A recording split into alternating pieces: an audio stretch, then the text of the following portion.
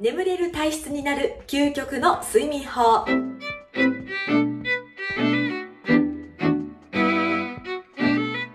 こんにちは。更年期トータルケアインストラクターの永田京子です。皆さん今日も動画を見ていただきましてどうもありがとうございます。簡単に自己紹介をすると更年期サポートの NPO 法人チェブラという団体を立ち上げて更年期の情報や対策ケア方法を届けていくこのような活動を行っています。詳しくはプロフィールを概要欄に貼ってありますのでご覧ください。さあ回の動画の内容は眠れる体質になる究極の睡眠法についてです。本日の目次です。なぜ更年期に睡眠トラブルが起こるのか。究極の睡眠トラブルの対処法刺激制御法。眠りホルモンをコントロールする。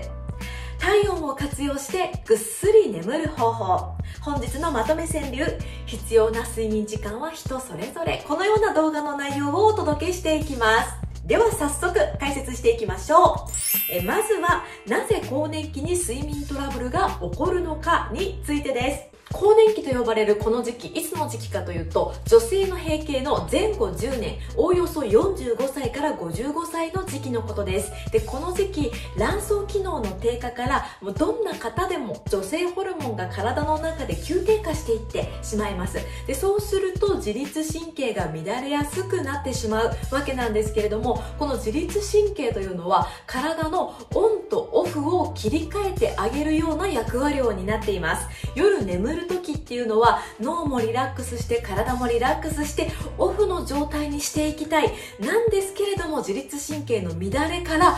オンの状態になってしまう。そしてなかなか眠れないというようなことが更年期の睡眠トラブルでよくあることです。でまた夜眠っているのにホットフラッシュ。急に汗が出てくる症状で目覚めてしまったり頻尿。何度も夜中にトイレのために目覚めてしまったりというので睡眠が中断されてしまうというのもこの時期よくある悩みです。お布団に入ってああ今日もまた眠れないんじゃないだろうかと思うとますます寝ることが不安になってしまってますます眠れなくなってしまうというようなそんな悩みも増える時期でもあります。では一体この睡眠トラブルに対してどういう方法をとっていけばいいのでしょうか？え今回はいくつかの睡眠を良くしていくような方法というのをご紹介していきます。まず1つ目の方法です。眠ることを諦める。あの、なんてとんでもないアドバイスをしたんだと思った皆様、ちょっと落ち着いてください。あの、続きをね、ぜひ聞いていただけたらと思います。これ実はですね、あの、とてもこう、有名な睡眠の治療法でもあります。刺激制御法と呼ばれる方法です。お布団の上では眠ること以外は使わないようにするという方法なんですね。こうお布団の上で眠れないのにゴロゴロしている時間っていうのはもうあのすぐお布団から出ましょうというような、えー、治療法です。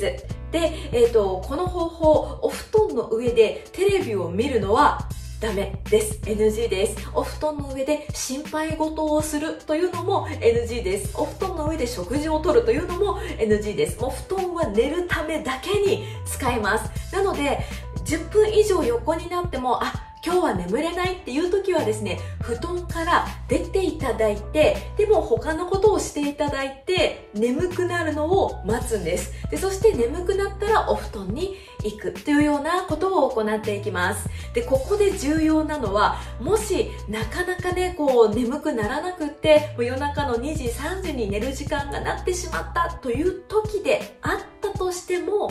朝同じ時間に起きるようにするんです。朝同じ時間に起きるというのがこの刺激制御法で、えーと、体を整えていく体のリズムを整えていくというのもとても重要なポイントです。これなぜかというと人間の体っていうのは朝起きてで光に当たりますよね。光をに当たったり光を見たりするじゃないですか。でそのおよそ14時間後からメラトニンと呼ばれるこれはあの体をこうリラックスさせて眠りモードにする脳内ホルモンなんですけれどもこのメラトニンが分泌されるんですね。なので朝を一定時間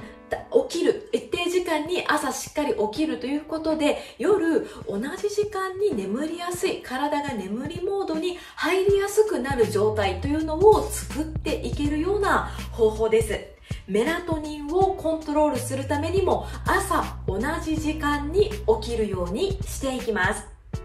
でこの眠りモードにするメラトニンなんですけれども先ほど言いました起床時から約14時間後に分泌が始まってでそしてその2時間後に最大化します。たくさん分泌されるようになります。でつまりは起きた時から16時間後に人間ってとっても眠りやすいな眠りやすいという状態を作ることができるんです。朝7時に起きる方であれば夜の11時くらいにはこうとっても眠りやすい状態が体の中で作られるというような体内時計と生活リズムが整いやすくなってそのことで夜ぐっすり眠りやすくなるというような方法です。またこのお布団の上は寝るためだけにしか使わないという方法ですので徐々に体と頭が慣れてくるともうお布団の上に乗っただけでスッと寝てしまうというようなある意味パブロフの犬のような効果こう習慣化を私たちのこの体に作ってあげるような効果が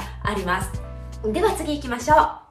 体温を活用してぐっすり眠る方法のご紹介です。これの人の体というのは体温が下がっていくという時に眠りやすくなります。なので例えば夕方に運動をして筋肉を動かすようなトレーニングであったりとかウォーキングをしたり体を動かして体温を一時上げます。でそうすると夜いい状態に体温が下がってきてスッと眠りやすくなるということがあります。でもっと簡単にできる方法であれば夜眠る1時間半前ぐらいにですねぬるめのお風呂に入ります。でぬるめのお風呂に使って体温を高めておいてでそうするとその1時間半後ぐらいですねちょうどいい眠る時間になったら体温が下がってきてスッと眠りやすくなるというようなことがありますので体温をコントロールするという方法もあります。良質な睡眠が得られやすくなります。では次行きましょう。突然川柳が出てきましたけれどもあのチェブラでは更年期のあるある症状であったりまた更年期を乗り越えていく心構えであるというようなことを五七五の川柳大人女子川柳にして届けるというような取り組みを行っています。で今回睡眠に関する川柳をいただきましたのでご紹介していきます。不眠症6時間しか寝れてない。不眠症6時間しか寝れていない。さあ本日のまとめです。あの、ま必要な睡眠時間っていうのは実は人それぞれなんです。どうしても私たちってこう数字で判断することに慣れていてまた数字っていう指標があるとあの分かりやすいので、まあ、それで判断することにとっても慣れています。例えば睡眠時間であったとしても何時間寝ましょうとかまたエクササイズの回数であったとしても肩こり解消にはこのエクササイズを8回やりましょうとかなぜか数字でこう言われることが多いんですけれどもでもよくよく考えてみてください。例えばこの肩こり解消のエクササイズであったとしてもその時の肩のこり具合によってほぐれる回数って変わってきますよね。8回というふうに本に書いてあったから8回やれば OK だというわけではないですよね。例えば運動した後であれば3回ぐらいもうね回すだけでもああすっきりしたということがあるかもしれないし重い荷物を持った時なんかではもう20回ぐらいこうね動かすとやっとすっきりしたというふうにやっぱりその時その時によって変わってきます。睡眠時間も同じです。何時間眠りましょうというふうに言われますけれども大事なのは数字ではなくって自分の感覚です。自分が翌日疲れが取れているとかよく眠れたというふうに感じていれば OK なんです。自分の体の感覚を信じてそして自分にとって快適な状態というのを見つけていきましょう。さあ今回は眠れる体質になる究極の睡眠法についてご紹介をしていきました。今日も動画を最後までご覧いただきましてありがとうございました。このチェブラチャンネルでは更年期を健康に快適に過ごしていけるようなヒントやアイデアを発信しています。症状別の対策ケア方法や自宅や出先でできる簡単なエクササイズ方法などなどお届けをしています。何歳になっても快適な体で人生を楽しみたいという方はチェブラチャンネルのチャンネル登録をお願いします。またグッドボタンを押していただけると更新の励みになりますのでお願いします。こちらでもいろんな情報を発信しています。LINE、Twitter、Facebook、Instagram ぜひフォローをお願いします。詳しくは概要欄に貼っておきます。た初の著書チェブラ体操が出ました。体の変化や対策ケアが分かりやすく書いてありますのでよろしかったらお読みください。それではまた次の動画でお会いしましょう。ありがとうございました。